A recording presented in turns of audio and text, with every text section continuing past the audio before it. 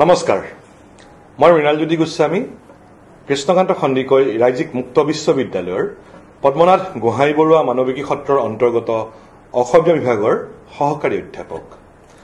আজি আমি আলোচনা কৰি আছো স্নাতক প্ৰথম ষান্মাসিকৰ অসমীয়া সাহিত্যৰ বুৰঞ্জী লিপি আৰু শাসন অধ্যয়ন শীৰ্ষক পাঠ্য বিষয়ৰ অধ্যায় নম্বৰ সাত শংকৰী যুগৰ অবৈষ্ণৱ সাহিত্য। ইয়াৰ আগৰ ভাগটোত এই অধ্যায়টিৰ বিষয়ে আমি কিছু কথা আলোচনা কৰি গৈছো। ইয়াৰ প্ৰথম ভাগটোত আমি কি কৰিলো? যে অধ্যায়টোৰ উদ্দেশ্য আমি কলো কি কি আছিল। আৰু পাঁচালী সাহিত্য মানেনো কি? সেই কথাখিনি থোৰতে আমি আলোচনা কৰিলো। পাঁচালী সাহিত্য বুলি ক'লে মানে পাঁচালী শব্দটো কিনো? সেই বিষয়ে কিছু কথা আলোচনা কৰিলো। ঠিক সেইদৰে পাঁচালী সাহিত্যক কি ধৰণে বিভাজন কৰা যায় সেই বিষয়েও আমি কিছু কথা আলোচনা কৰিলো। তাতে আমি আলোচনাৰ প্ৰসংগত কৈছিলো যে এই পাঁচালী সংগীতৰ মাজেদিয়েই ক'ব নোৱাৰাকে অসমৰ এক ঐতিহ্যমণ্ডিত বা মাৰ্গীয় সংগীত শৈলীৰ প্ৰচলন আছে। এতিয়া আমি এই ধাৰণাকেইটাৰ আধাৰত ইয়াৰ পাঁচালী কবি কিজনৰ সম্পৰ্কে আমি আলোচনা কৰিম। আমি কৈছো ইতিমধ্যে আমি কৈছোৱে যে আপোনালোকৰ পাঠ্য বিষয়ত চাৰিগৰাকী পাঁচালী কবিৰ নাম উল্লেখ আছে। দুৰ্গাবৰ মনকৰ সুকবি নাৰায়ণদেৱ আৰু পীতাম্বৰ কবি। এতিয়া আমি প্ৰথমতে পীতাম্বৰ কবিৰ কথা আলোচনা কৰো।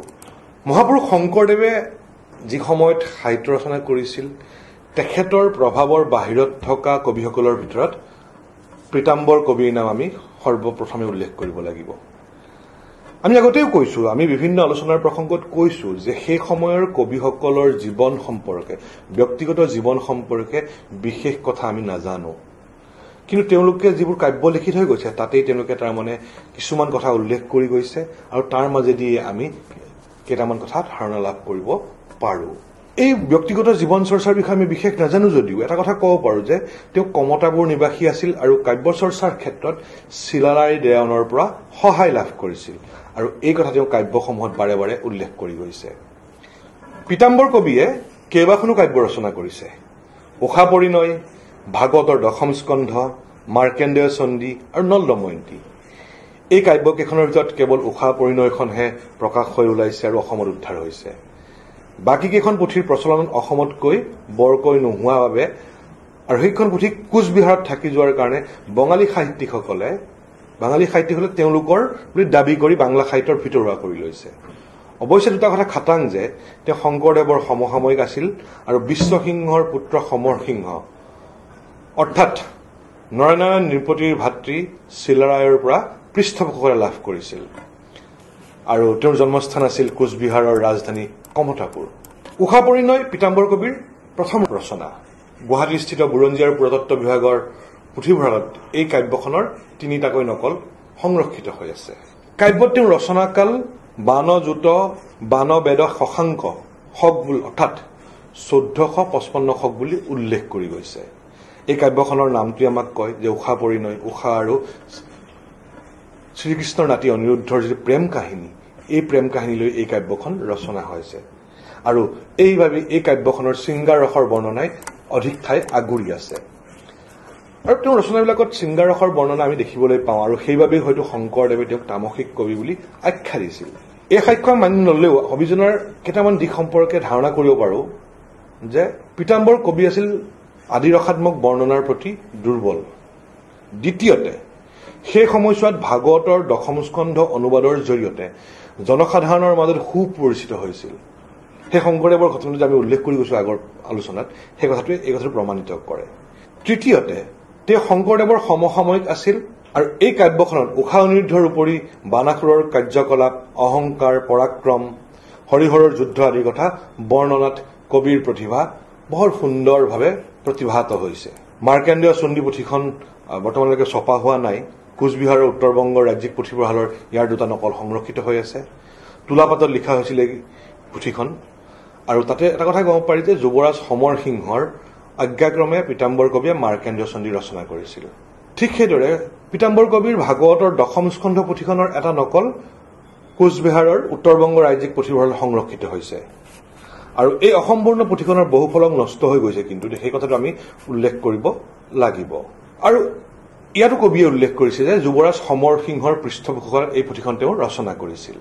পুথিখনত ইয়াৰ ৰচনাকাৰ সম্পৰ্কে কোনো কথা উল্লেখ নাই যদিও বিভিন্ন প্ৰমাণৰ ভিত্তিত চৈধ্যশ পঁচপন্ন শকৰ পৰা চৈধ্যশ আঠষষ্ঠি শকৰ ভিতৰত এই পুথিখন ৰচনা কৰিছিল বুলি মত পোষণ কৰে। তেওঁৰ ভণিতা থকা তৃতীয়খন পুথিৰ নাম হ'ল নল দময়ন্তী ইয়াৰ এটা নকল গুৱাহাটী বিশ্ববিদ্যালয়ৰ পুৰণি পুথি সংৰক্ষণ বিভাগত সংৰক্ষিত হৈছে আৰু এইখনো তোলা পাতত লিখা এই পুথিখনৰ আৰম্ভণিৰে কেইখিলামান পাত আমি দেখিবলৈ নাপাওঁ। এয়াই হ'ল প্ৰথমগৰাকী কবি পীতাম্বৰ কবিৰ বিষয়ে থোৰতে। এই বিষয়ে আপোনালোকে বহলাই স্নাতকোত্তৰ পঢ়োতে অধ্যয়ন কৰিব লাগিব। সেইবাবে আমি ইয়াত ইমান কথা বহলাই আলোচনা কৰা নাই। এতিয়া আহিল দ্বিতীয়গৰাকী পাঁচালী কবি দুৰ্গা বৰ কায়স্থ। পাঁচালী কবিসকলৰ ভিতৰত দুৰ্গা বৰ অন্যতম। মহাকাব্য আৰু মনসা বিষয়ৰী বিষয়ক এই দুইটা শ্ৰেণীৰ পাঁচালী পৰম্পৰাৰ কথাবৃত্তক লিখিত ৰূপ প্ৰদান কৰা কৰা। দুৰ্গা বৰৰ আত্মপৰিচয় আমি বিশেষভাৱে নাপাওঁ। এটা কথাই গম পাওঁ মই কৈছো আমাৰ সকলো সকলো কবিৰ এই সময়ত তেওঁলোকৰ জীৱন সম্পৰ্কে আমি বিশেষ কথা গম নাপাওঁ। এই দুৰ্গা বৰক এটা কথা গম পাওঁ তাৰমানে যে তেওঁৰ পিতৃৰ নাম আছিল চন্দ্ৰধৰ কায়স্থ। কামৰূপৰ নীলাচল অৰ্থাৎ কামাখ্যা পীঠত তেওঁৰ বাসস্থান আছিল বুলি অনুমান কৰা হয়। তেওঁ কোচ ৰজা বিশ্বসিংহৰ দিনৰ কবি। তেওঁ দুখন কাব্য ৰচনা কৰিছিল। গীতি ৰামায়ণ আৰু বেউলা আখ্যান বা পদ্মা পুৰাণ বা পুয়াৰ পচালি। এই দুয়োখন পুথিয়ে হাজো অঞ্চলৰ পৰা উদ্ধাৰ হোৱাৰ কাৰণে এই কবিজনাৰ জন্মস্থান হাজো আছিল বুলি বহুতে বিশ্বাস কৰে। বিশেষকৈ গীতি ৰামায়ণৰ প্ৰথমগৰাকী সম্পাদক যিজনে সম্পাদনা কৰি প্ৰকাশ কৰিছিল বিষয়চন্দ্ৰ বিশ্বাসীয়ে এই কথা মত পোষণ কৰিছে। বিষয়বস্তু ৰচনাশৈলী সাংগীতিক বৈশিষ্ট্য আৰু ভাৱ ভাৱভাষাৰ বৈশিষ্ট্যৰে ফালৰ পৰা পদ্মাপুৰাণ পুথিখনৰ কবিৰ প্ৰথম আৰু ৰামায়ণখন গীতি ৰামায়ণখন দ্বিতীয় ৰচনা বুলি ঠাৱৰ কৰা হৈছে। মন কৰিবলগীয়া এই যে ৰামায়ণখনৰ কথা কলো বাল্মীকি ৰামায়ণখনৰ আধাৰত আমাৰ প্ৰথম ৰামায়ণ ৰচনা কৰিছিল মাধৱ কন্দলীয়ে। আৰু এই মাধৱ কন্দলীৰ পিছত ৰামায়ণ ৰচনা কৰাৰ পিছত আটাইতকৈ উল্লেখযোগ্য হ'ল দুৰ্গা বৰ। তেওঁ কি কৰিছিলে? গীতৰ আৰ্হিত সম্পূৰ্ণৰূপে গীতৰ আৰ্হিত। গীতবোৰ আছিল কোমল অনুভূতি আৰু মানসিক বিশ্লেষণৰ দক্ষতাৰ পৰিচয় পোৱা যায় তাৰ মাজত। আৰু ই পাঞ্চালী শৈলীত উপস্থাপন কৰিবৰ বাবে দুৰ্গাবৰী ৰামায়ণ বা দুৰ্গাবৰী ৰামায়ণ বা দুৰ্গাবৰী দুৰ্গাবৰৰ ৰামায়ণ নামে ই পৰিচিত। আৰু পুথিখনৰ প্ৰথম সম্পাদক হাজোৰ বিষয়চন্দ্ৰ বিশ্বাসীয়ে ঊনৈছশ পোন্ধৰ খ্ৰীষ্টাব্দত পুথিখন প্ৰকাশ কৰিছিল আৰু তেওঁৱেই এই পুথিখনৰ নাম গীতি ৰামায়ণ বুলি নামাকৰণ কৰিছিল। পৰৱৰ্তী কালত মহেশ্বৰ নেওগে ঊনৈছশ চৌৱন্ন চনত এই পুথিখনৰ প্ৰথম সংস্কৰণৰ আধাৰত দুৰ্গাবৰী গীতি ৰামায়ণ নামেৰে প্ৰকাশ কৰে। আৰু এই কিতাপখনত কি কৈছে? যে ৰাম অৱতাৰী পুৰুষ হয় সেই কথা কৈছে। কিন্তু তেওঁ কাম কাজ বা কাণ্ড কাৰখানাত লক্ষ্য কৰিলে সাধাৰণ মানুহৰ চাৰিত্ৰিক বৈশিষ্ট্যহে ফুটি উঠা দেখিবলৈ পোৱা যায়। আৰু সেইবাবেই হয়তো অসমৰ আন এগৰাকী বিখ্যাত পণ্ডিত বাণীকান্ত কাকতিয়ে গীতি ৰামায়ণখনক বাল্মীকি ৰামায়ণৰ গাঁৱলীয়া টাঙৰণ বুলি অভিহিত কৰিছে। কাৰণ এইখনত লৌকিকতাৰ আৱেশ বহুখিনি দেখিবলৈ পোৱা যায়। গীত ৰাগ ৰাগিনীৰ প্ৰয়োগ ইয়াৰ এটা মূল বৈশিষ্ট্য। অহিৰ আকাশমণ্ডলী পৰা আৰম্ভ কৰি কম্বাৰ চালনী ধনশ্ৰী পটমঞ্জুৰী শ্ৰীগান্ধাৰ বসন্ত ভৈৰৱী এনেকুৱা ধৰণৰ ভালেমান ৰাগ ৰাগিনীৰ সুষম প্ৰয়োগ ঘটিছে। আৰু এই গীতি ৰামায়ণখনে দুৰ্গা বৰক অসমীয়া ৰামায়ণী পৰম্পৰাত এক বিশিষ্ট স্থান প্ৰদান কৰিছে। দুৰ্গা বৰৰ আনখন কাব্য হৈছে পদ্মাপুৰাণ। প্ৰায় তেৰশ পদ বিশিষ্ট আৰু এশ পঁচপন্নটা গীত সন্নিৱিষ্ট। দুৰ্গা বৰৰ পদ্মাপুৰাণখনত সৰ্পৰ অধিষ্ঠাত্ৰী দেৱী পদ্মাৰ মহিমা কীৰ্তন কৰা হৈছে। পদুমাৰী দাস দুৰ্গাবৰে প্ৰথমে পদ্মাৰ চৰণ বন্দনা কৰি মনসাৰ গীত ৰচনা কৰিছে। ইয়াৰ লগতে তেখেতে বিভিন্ন দেৱ দেৱীকো প্ৰণিপাত জনাবলৈ পাহৰা নাই। তেওঁ কি কৰিছে? চন্দ্ৰধৰ সাউদৰ লগত পদ্মা দেৱীৰ বিৰোধ। চন্দ্ৰধৰৰ ওপৰত পদ্মাৰ প্ৰতিশোধমূলক অত্যাচাৰ। বেউলা লক্ষীন্দৰৰ বিবাহ। লক্ষীন্দাৰৰ সৰ্পদৰ্শনত মৃত্যু। পতিৰ প্ৰাণ বিচাৰি বেউলাৰ অনিশ্চিত যাত্ৰা। নেতাৰ সহায়ত স্বৰ্গৰ উপস্থিত। লক্ষীধৰৰ লক্ষীন্দৰৰ প্ৰাণ লাভ বেউলাৰ চম্পাৱতী নগৰলৈ প্ৰত্যাৱৰ্তন আৰু পদ্মা পূজা কৰিবলৈ শেষত চন্দ্ৰধৰৰ সন্মতিৰে কাব্যখনৰ সামৰণি পৰিছে। আমি নিশ্চয় সকলোৱে জানোৱেই বেউলা লক্ষীন্দৰৰ কাহিনীভাগ আমি সৰুৰ পৰা শুনিছো আৰু এই কাহিনীভাগ এটা কৰুণ কাহিনী। এই কথাখিনি ইয়াত খুব সুন্দৰভাৱে পৰিৱেশন কৰা হৈছে। মন কৰিবলগীয়া যে পদ্মাৰ প্ৰতিশোধ পৰায়ণতাৰ বাবে তেওঁ দেৱীৰ পৰা সাধাৰণ মানুহৰ শাৰীলৈ নামি আহিছে। এই কাব্যখনত তাৰ সাৰ্থক প্ৰকাশ দেখিবলৈ পোৱা যাওঁ। কাব্যখনত কাহিনীৰ বৰ্ণনা চৰিত্ৰ সৃষ্টি আৰু তেওঁলোকৰ মানসিক স্থিতিৰ চিত্ৰণ পৰিৱেশ ৰচনাৰ উপস্থাপন শৈলীত দুৰ্গাবৰে যে নিজস্ব মৌলিক প্ৰতিভাৰ স্বাক্ষৰ দাঙি ধৰিছে ঘৰুৱা চিত্ৰকল্পৰ প্ৰয়োগ ভাষাৰ প্ৰয়োগ এই কাব্যৰ মূল বৈশিষ্ট্য। এই কথাখিনি আমি জানিব পাৰোঁ। আৰু এটা কথা মন কৰিবলগীয়া যে দুৰ্গাবৰ শৃংগাৰ ৰস বৰ্ণনাত বৰ সুৰুচিপূৰ্ণ। কৰুণ ৰসযুক্ত গীতসমূহ মৰ্মস্পৰ্শী আৰু কাব্যখনত সন্নিৱিষ্ট গীতসমূহত ৰাগ ৰাগিনীৰ উল্লেখে কবিজনাৰ সংগীতৰ প্ৰতি যে পাৰদৰ্শিতা আছিল সেই কথাৰ প্ৰমাণ কৰে। তেওঁ বিভিন্ন ৰাগ সুহাই ভাটিয়ালি পটমঞ্জুৰী এই কাব্যখনত খুব বেছিকৈ প্ৰয়োগ কৰিছিল বুলি আমি ক'ব পাৰোঁ। পাঁচালী শাখাৰ তৃতীয়গৰাকী কবিৰ নাম হ'ল মনকৰ। মনসা কাব্যৰ মনকৰৰ জীৱন সম্পৰ্কীয় আমি বিশেষ কথা গম নাপাওঁ। তেওঁৰ মাতৃৰ নাম আছিল কালিন্দী। কবিয়ে তেওঁৰ ৰচনাত এঠাইত উল্লেখ কৰিছে যে কমতাই ৰাজা বন্দু ৰাজা জল্পেশ্বৰ একশত মহিষী বন্ধু আঠৰ কুমাৰ। দুৰ্গাবৰ কায়স্থৰ পদ্মপুৰাণতো কমতা ঈশ্বৰৰ ৰাজা বন্দু বিশ্বসিংহ নিপ্ৰবৰ আঠচল্লিছ মহিষী বন্ধু ওঠৰ কোঁৱৰ বুলি উল্লেখ থকাৰ পৰাই মহেশ্বৰ নেওগে মত পোষণ কৰিছে যে জল্পেশ্বৰ আৰু বিশ্বসিংহ একেজন ৰজা। বিশ্বসিংহ ৰাণীৰ সংখ্যালৈ তেওঁলোকৰ দুজনৰ মাজত থকা বিভিন্ন বুৰঞ্জীকাৰৰ মতৰ অমিল আছে যদিও। কোঁৱৰৰ সংখ্যা যে ওঠৰজন আছিল সেয়া সৰ্বজন স্বীকৃত। এই কথাৰ পৰা অনুমান কৰিব পাৰি মনকৰো বিশ্বসিংহৰ আমোলাৰে কবি আছিল।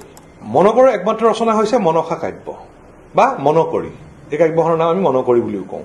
অৱশ্যে কবিবৰে তেওঁৰ দ্বাৰা বিৰচিত মনসা কাব্য কথাবৃত্তক পদুমাইৰ গীত পাঞ্চালী বা শ্ৰাৱণীৰ গীত বুলিহে আখ্যা দি গৈছে আৰু এই পুথিখন বৰ্তমানলৈকে সম্পূৰ্ণৰূপে ছপা হৈ লোৱা নাই। সত্যেন্দ্ৰনাথ শৰ্মাৰ বিঞ্চি কুমাৰ সম্পাদনাত এটা খণ্ডহে ছপা হৈ ওলাইছিল। আৰু এই ছপা পুথিখনৰ আধাৰতে ক'ব পাৰি যে সৰস্বতীৰ বন্দনাৰে আৰম্ভ হোৱা এই পুথিখনৰ তিনিটা ভাগত ভাগ কৰি ৰচনা কৰা হৈছে। সৃষ্টিখণ্ড সৰ পাৰ্বতীৰ বিবাহ খণ্ড আৰু পদ্মাৰ জন্মখণ্ড। প্ৰথম খণ্ডত তেৰটা দ্বিতীয় খণ্ডত আঠচল্লিছটা আৰু তৃতীয় খণ্ডত পোন্ধৰটা গীত সন্নিৱিষ্ট হৈছে। এই কাব্যখনৰ মূল চৰিত্ৰ হ'ল তিনিটা মহাদেৱ নাৰদ আৰু দুৰ্গা। এই তিনিওটা চৰিত্ৰতে দেৱত্ব গুণতকৈ মানৱীয় কাৰ্যকলাপ আৰু কামনা বাসনাহে অধিকভাৱে প্ৰকাশ পাইছে।